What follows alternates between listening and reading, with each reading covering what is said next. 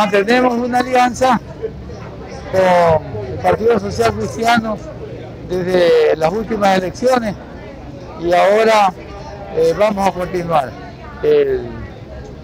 para el asunto de los asambleístas en toda la provincia, tanto en el distrito norte como en el sur.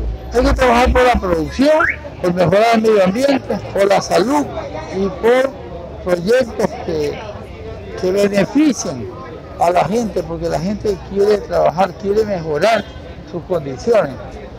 Sabemos que el asambleísta no puede hacer obra, pero sí puede dar los lineamientos a través de proyectos que beneficien a un Ecuador diferente, a un Ecuador que tiene la esperanza de cambio y de mejora.